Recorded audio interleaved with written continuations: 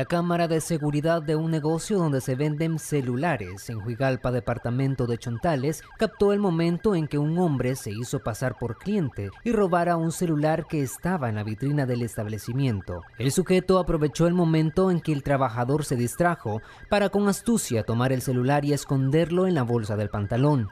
Días antes, en otro robo se vio involucrado el mismo sujeto con la misma modalidad y vestimenta, esta vez en un negocio donde venden pollo. Al igual que en el caso anterior, la víctima atendía a otro cliente y en cuestión de segundos tomó el aparato y se marchó. Comerciantes de la zona piden a la población si logran reconocer al sujeto, den aviso a las autoridades policiales, puesto que temen ser una próxima víctima.